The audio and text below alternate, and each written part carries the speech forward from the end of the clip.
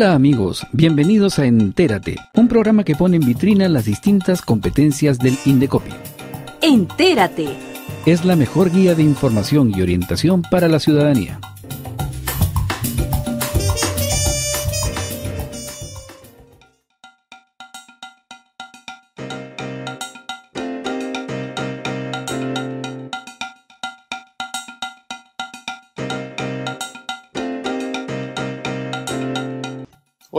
Bienvenidos y bienvenidas a una edición especial de su programa Entérate. Mi nombre es Wilfredo Angulo y voy a estar acompañándolos en estos minutos, como siempre, dándoles información relevante, importante para todos y todas ustedes. Recordarles que pueden ingresar a los canales oficiales del Indecopi en todas nuestras redes sociales. Eh, nos encuentran con el usuario arroba Indecopi oficial y también, como no, invitarlos a compartir esta transmisión. Hoy hablaremos de un tema muy importante y muy interesante también, como son los mecanismos de solución de conflictos.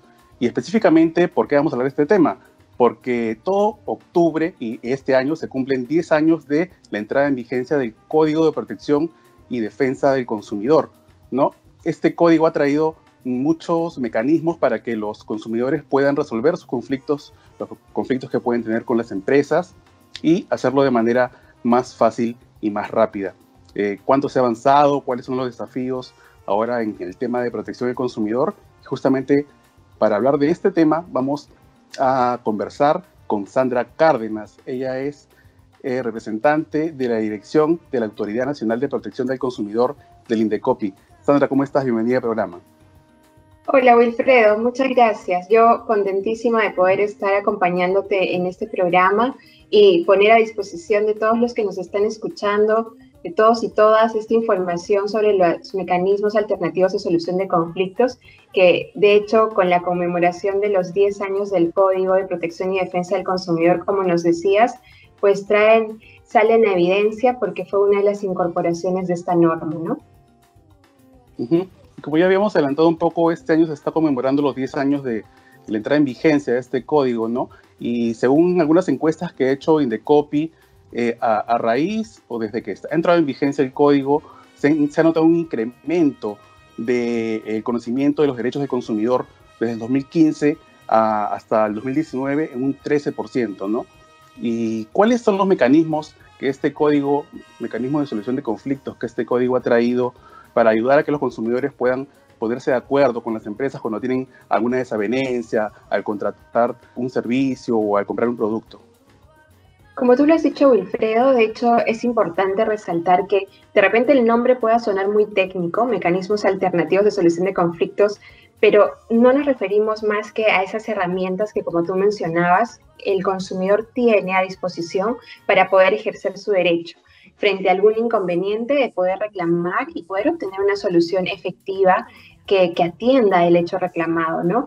Estos mecanismos que fueron incorporados con el código, dentro de los cuales te puedo comentar inicialmente, por ejemplo, es el libro de reclamaciones, fue la posibilidad de presentar un reclamo a través de lo que es la plataforma de servicio de atención al ciudadano, que incluso ha incorporado en estos últimos años mecanismos electrónicos y digitales para esta presentación.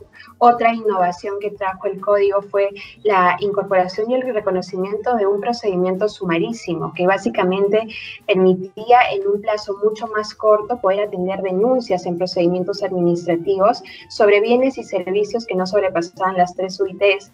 De hecho, también se dio un impulso con el código, te cuento Wilfredo, a lo que son las defensorías gremiales, que como entenderemos y, todos podemos de repente reconocer, cuando hablamos de una relación de, consumo, estamos hablando del consumidor y también del proveedor.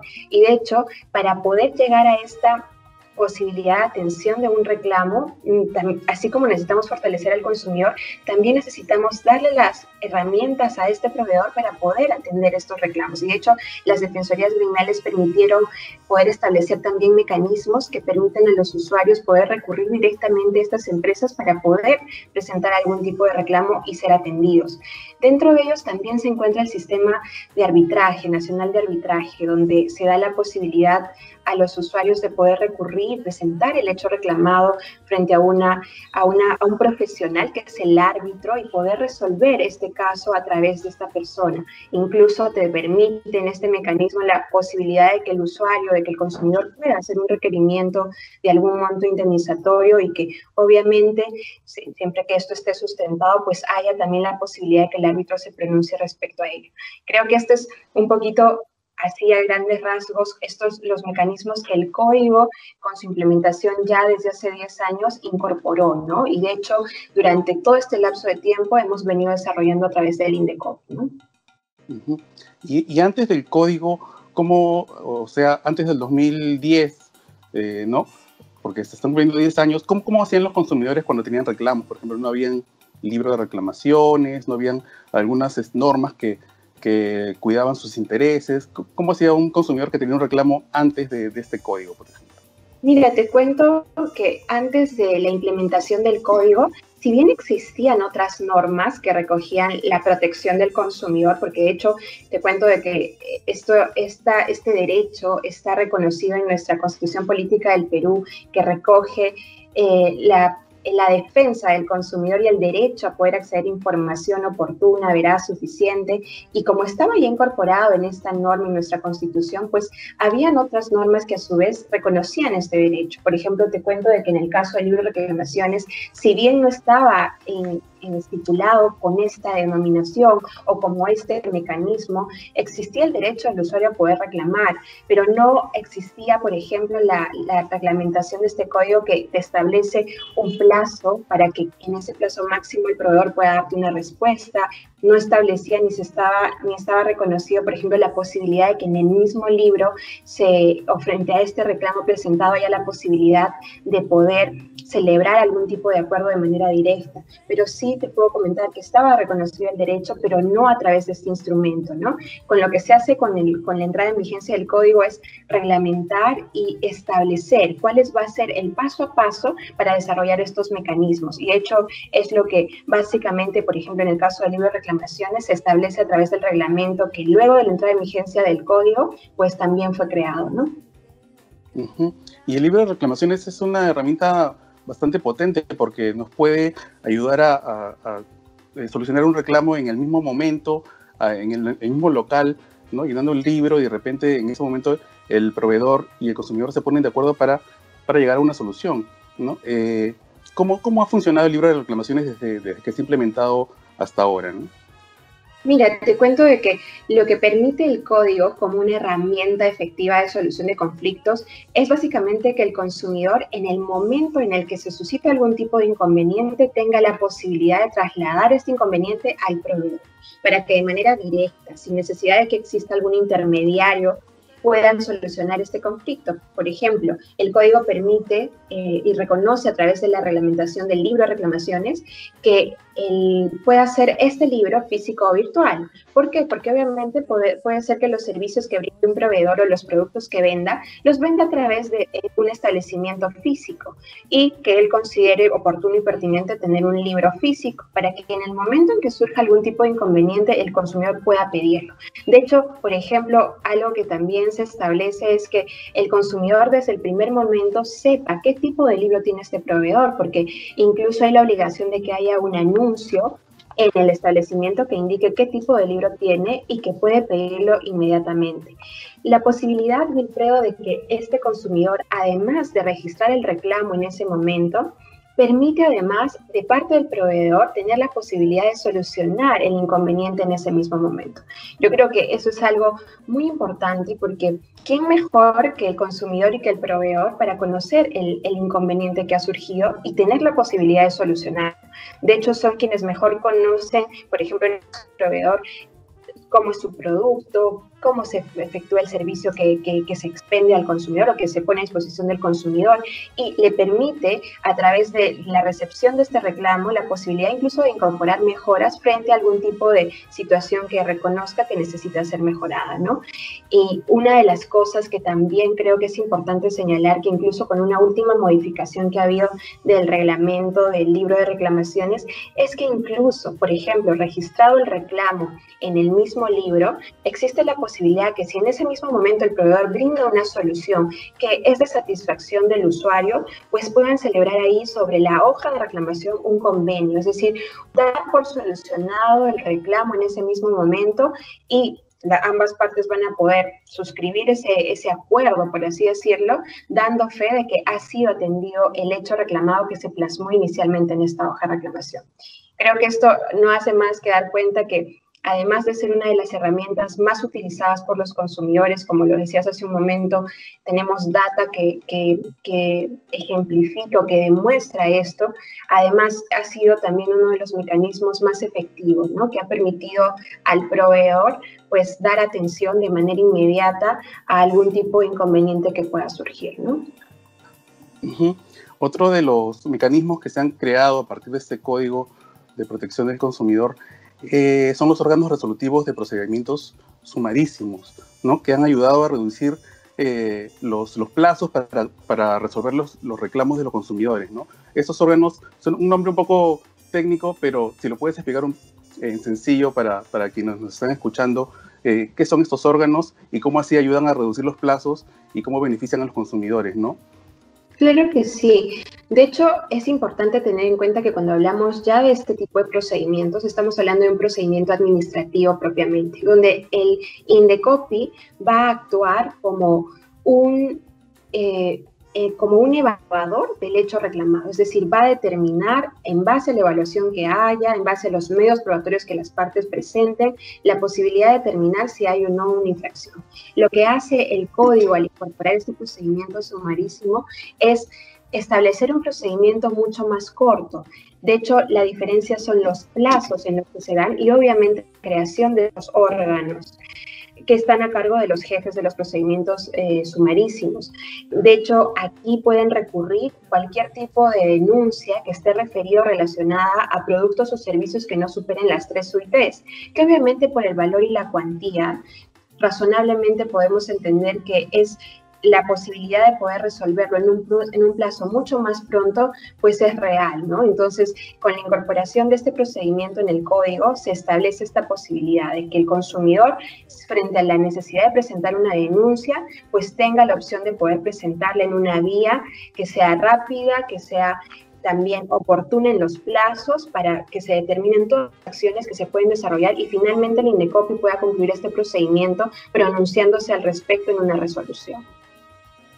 También mencionaste el tema del sistema de arbitraje de consumo. Esto es diferente a hacer un reclamo.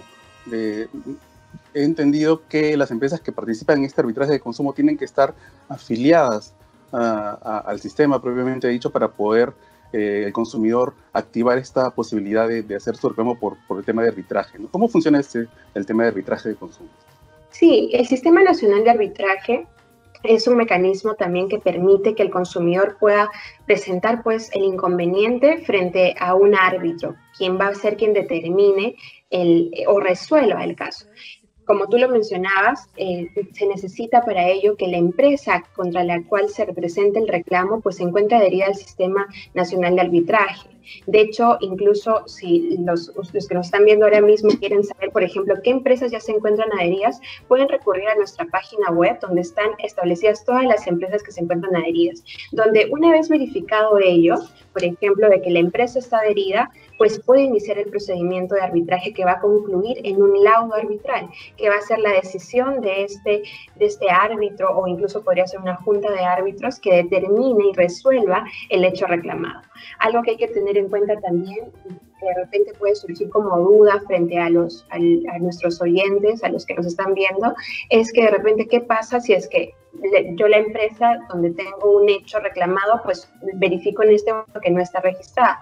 Existe la posibilidad de que se pueda trasladar la invitación de que pueda ser adherida al Sistema Nacional de Arbitraje. Pero obviamente el desarrollo del procedimiento va a estar ligado a la aceptación de parte de este proveedor o de esta empresa de poder formar parte de, este Sistema Nacional de Arbitraje y participar de lo que sería el procedimiento en sí mismo, ¿no?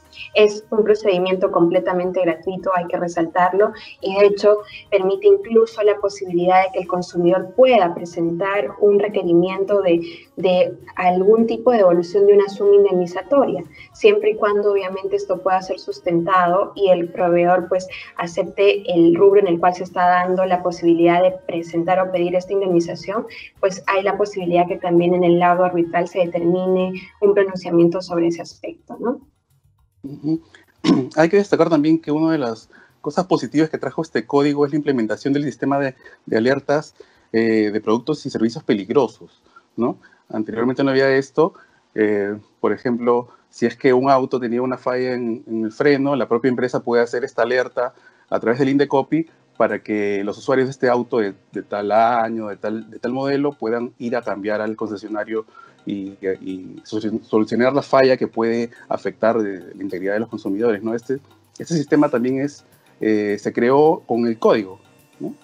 Exactamente. De hecho, con el código e incluso con la política código recoge que, que el INDECOPI se encuentra como Autoridad Nacional de Protección al Consumidor, se encuentra eh, es el encargado de poder promulgar esta política y de poder establecer incluso el Plan Nacional de Protección al Consumidor, pues se da cuenta y se, se ve la necesidad de poder crear un sistema de alertas, ¿no?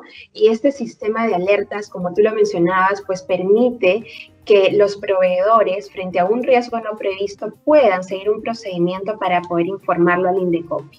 ¿Esto con qué fin, Wilfredo? Y esto es muy importante resaltarlo y subrayarlo, con el fin de poder promover el cuidado de, de los derechos de la salud y seguridad del consumidor. Porque obviamente frente a un riesgo no previsto, y ahí de repente quiero ser un poquito más sencilla en las palabras, sin, necesidad de, de repente eh, señalar lo que en sí mismo recoge el reglamento, es que frente a la cadena de producción que cualquier proveedor tiene de algunos productos o servicios, en este caso, pues puede ocurrir de que sin, sin saberlo, sin incluso sin sin que haya una causa, una causal conocida por el proveedor, pues puede ocurrir algún tipo de, riesgo, puede haber algún tipo de falla en el producto que se, está, que se está colocando en el mercado y que solamente haya podido ser conocido este defecto, esta falla, una vez que el producto ya se encuentra en poder del consumidor o en circulación y a disponibilidad del consumidor. Entonces, frente a esos riesgos no previstos, porque obviamente no pudieron en su momento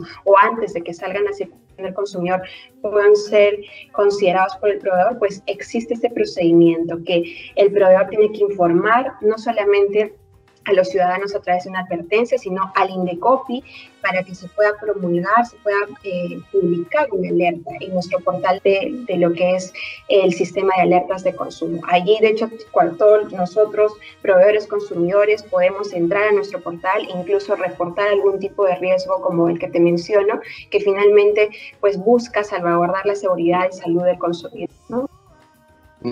Y también entre las actividades que se están eh, promoviendo por los 10 años del código está un reconocimiento que está lanzando el Indecopy, es el reconocimiento Mi Bodega Favorita 2020, para reconocer justamente a estos emprendedores que durante todo, toda esta época de la pandemia han seguido dándonos los productos eh, de primera necesidad y también cumpliendo con todos los protocolos para evitar los contagios de, del COVID y, todo esto. ¿no? ¿Nos puedes eh, dar algunos detalles de esta de ese reconocimiento? ¿Cómo pueden inscribirse los, los interesados?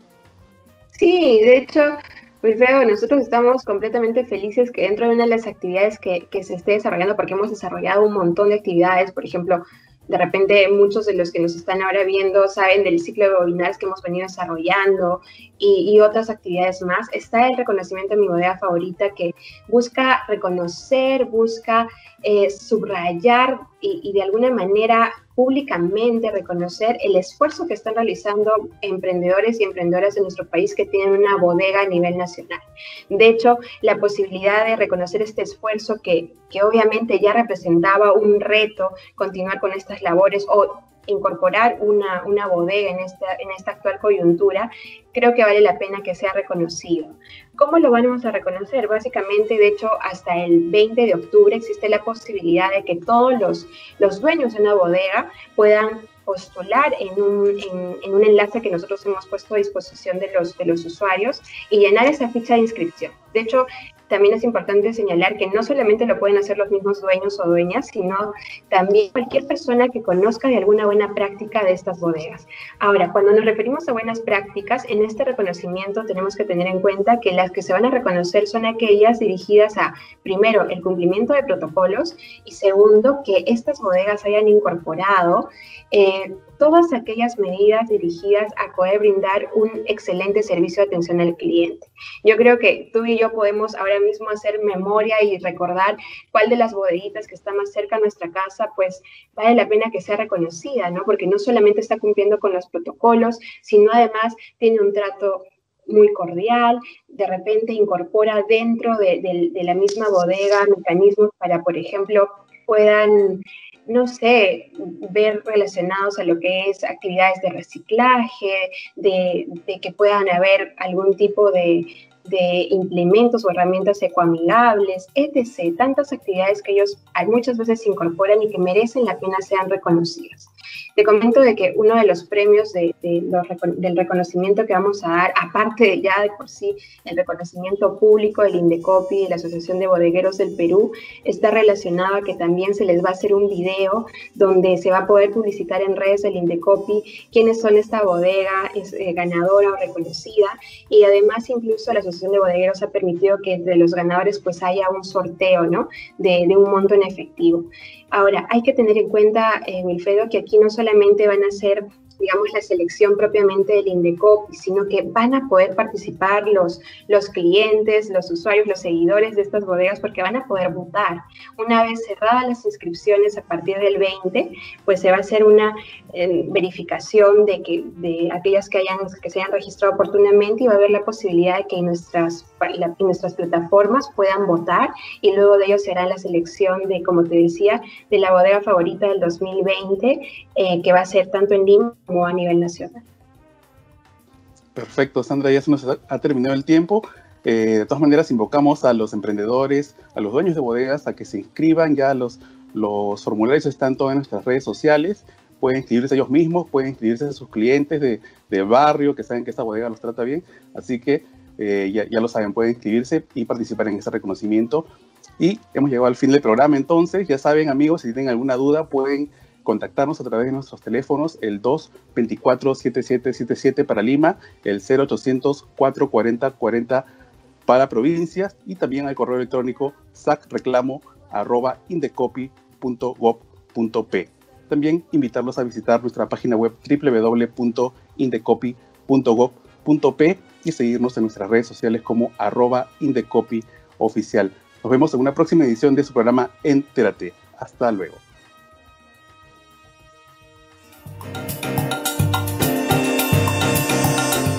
Radio Indecopi presentó Entérate. Una producción de la Gerencia de Promoción y Difusión del Indecopi. Síguenos en www.indecopi.gov.p y en redes sociales a través de Indecopi Oficial.